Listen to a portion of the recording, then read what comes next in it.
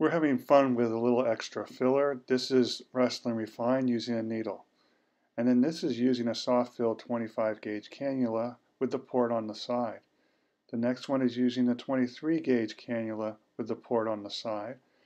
And the last one is using a 22 gauge cannula with the port on the side. There is more filler laid down with larger cannula sizes. This will compare using a needle with Restylane Refyne and then a needle with Restylane L. Interesting, there is more product extruded with the Restylane Refyne than with Restylane L. This next shows what a cannula looks like when it pops off due to excessive pressure. The cannula port is upright, showing expression of the filler, and now I'm turning it to the side, and I'm extruding the filler through the side port, and then I'm going to turn it downward, and this is expressing the filler through a downward port.